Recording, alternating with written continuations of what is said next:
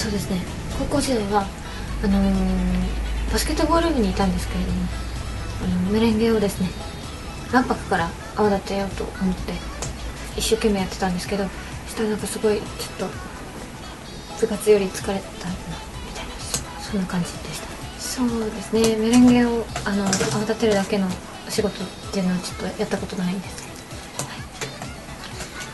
ど、はい、そうですね。やっぱりちょっとメレンゲ泡立てる仕事って私も聞いたことなかったんでやっぱちょっとお母さんもお父さんも心配しちゃうかなみたいなそんな感じなのでちょっと言えてはないんですね。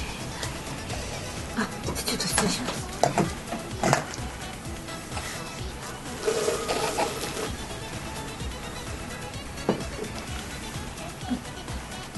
あちょっと歯に染みます甘すぎた感じありますよね。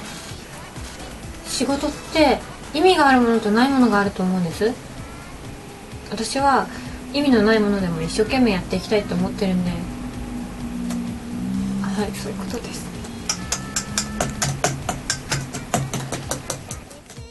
東方メレンゲ少女夜行3月13日頒布開始です。